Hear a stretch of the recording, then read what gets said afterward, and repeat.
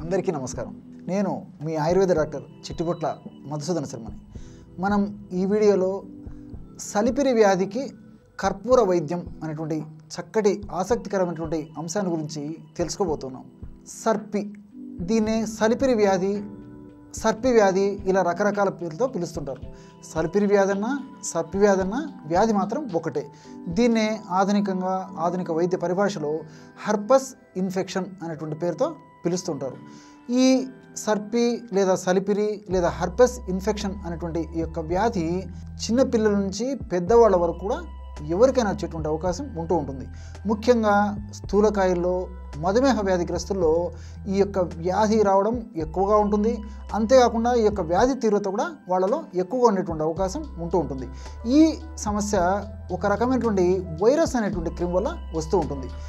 ఈ వైరస్ క్రిమి యొక్క ప్రభావము శక్తి ఏంటంటే దేహంలో ఒకవైపు మాత్రమే ఒక భాగంలోనే ఈ యొక్క సమస్య కలుగుతుంటుంది ఈ సమస్య వచ్చినప్పుడు ఆ భాగంలో బొబ్బలు వచ్చేసి విపరీతమైనటువంటి మంట పోటు సలుపు బాధ అసౌకర్యము ఇలా ఉండేటువంటి పరిస్థితి ఏర్పడుతూ ఉంటుంది. తల నుంచి కాళ్ళ వరకు ఎక్కడైనా ఈ సమస్య రావచ్చు.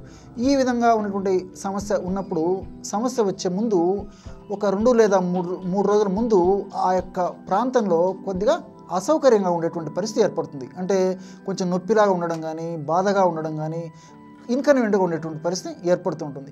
ఈ సమస్య సర్వసాధారణంగా కొన్ని రోజులు తగ్గిపోయినప్పటికీ ఆ యొక్క సమస్య ప్రభావం చేత వైరస్ ఆ సమస్యను మరింత తీవ్రతరం చేసేటువంటి పరిస్థితి ఉంటుంది కాబట్టి అక్కడ నర నరాలు బాగా దెబ్బతినేసి నరాలు చైతన్య రహితమై నరాలు దెబ్బతిని ఆ యొక్క ప్రభావం చేత చాలా కాలం పాటు దీర్ఘకాలం పాటు కూడా ఆ నొప్పి బాధ సలుపు పోటు వేధించేటువంటి పరిస్థితి కొంతమందిలో కలిగేటువంటి పరిస్థితి ఏర్పడుతూ ఉంటుంది. ఏదేమైనప్పటికీ ప్రకృతి ప్రసాదించినటువంటి ఈ యొక్క సహజసిద్ధమైనటువంటి ఔషధాలపైన సదవగాహన కలిగి ఉండి వాటిని సద్వినియోగం చేసుకున్నట్లయితే ఆ సమస్యను తగ్గించుకోవడం అంత కష్టమేమి కాదు. మరి ఈ సలిపిరి లేదా సర్పి లేదా హెర్పస్ ఇన్ఫెక్షన్ అనేటువంటి సమస్య తగ్గేందుకు ఔషధాన్ని ఎలా తయారు చేసుకోవాలంటే దీనికి కావలసినటువంటి పదార్థాలు మూడు. మొట్టమొదటిది కర్పూరం. కర్పూరం అనేసరికి ఏ కర్పూరం డాక్టర్ గారు అని చెప్పేసి మీకు సందేహం వస్తుంది.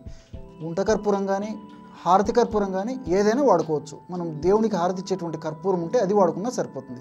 రెండవ పదార్థము మిరియాల పొడి. మూడవ పదార్థం శ్రీగంధం పొడి. కర్పూరం మనకందరికీ తెలిసినటువంటిదే మిరియాలు మనకందరికీ తెలిసినటువంటివే శ్రీగంధం పొడి కూడా ఇంచుమించు అందరికీ తెలిసినటువంటిది. శ్రీగంధం పొడి సర్వసాధారణంగా చాలా ఇళ్ళలో ఉంటుంది.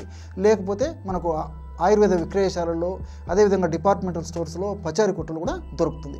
ఈ మూడింటిని అంటే కర్పూరము మిరియాల పొడి అదేవిధంగా సిరిగన్న పొడి సమభాగాలుగా కలిపేసి అంటే కర్పూరాన్ని కొద్దిగా నలిస్తే పౌడర్ అయిపోతుంది కదా ఈ విధంగా మూడు చూర్ణాలను సమానంగా కలిపేసి ఒక సీసాలో నిల్వ ఉంచుకొని రోజు ఉదయం ఒకసారి సాయంత్రం ఒకసారి తగినంత చూర్ణంలో తగినంత కొబ్బరి నూనె కలిపేసి ఆ భాగంలో లేపనం చేస్తుండాలన్నమాట. ఈ విధంగా క్రమం తప్పకుండా రోజు రెండుసార్లు ఈ యొక్క ఔషధాన్ని ఈ పద్ధతిలో లేపనం చేయడం వల్ల చాలా త్వరగా శీఘ్రంగా సమర్థవంతంగా వెంటనే ఈ ఔషధాలు ఔషధ తత్వాలు రసాయన గుణాలు ఆ యొక్క సమస్య మీద పనిచేసి వెంటనే తగ్గేందుకు కారణభూతం అవడమే కాకుండా ఈ యొక్క సమస్య దీర్ఘకాలం పాటు ఉండకుండా ఈ యొక్క ఔషధాలను కూడా కాపాడి చాలా త్వరగా ఈ యొక్క సమస్యని తగ్గిస్తాయి. చూశారు కదా?